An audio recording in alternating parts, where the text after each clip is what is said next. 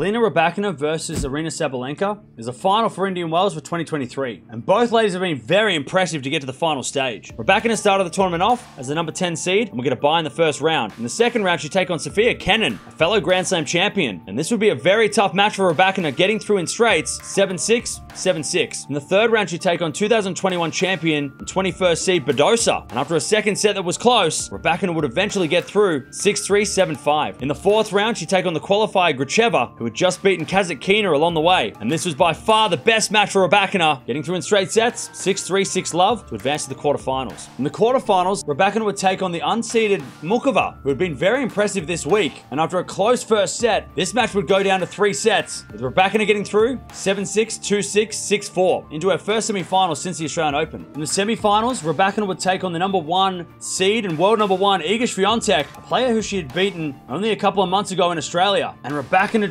destroyed Swiatek in her most impressive performance of the week, 6-2, 6-2, to get to her first Indian Wells final. Sabalenka started the tournament off as the number two seed, and we're going to bye in the first round. In the second round, she take on Rodina, but this posed no problem for Sabalenka, getting through in straight sets, 6-2, 6-love. In the third round, she was supposed to play Tsurenko, who had just beaten Vekic, the 29th seed in the previous round, but Tsurenko pulled out last minute, Sabalenka got a walkover win. In the fourth round, she would take on the number 16 seed Krejcikova, the only player to beat Sabalenka this season. And after dropping the second set, Sabalenka would again have to fight to win the match, this time winning in three, 6-3, 2-6, 6-4 to advance to the quarterfinals. In the quarterfinals, Sabalenka would take on the number 6 seed Gauff and had some very close matches with Gauff in the past. But this match, Sabalenka looked amazing, winning easily in straight sets, 6-4, 6-love to get to the semis. In the semifinals, Sabalenka would take on the number 7 seed Sakkari, who made the final here last year. But just like against Gauff, Sabalenka was on another level, getting through in straights, 6-2, 6-3 to advance to the final. These two have played four times before, with Sabalenka leading the head-to-head 4-0,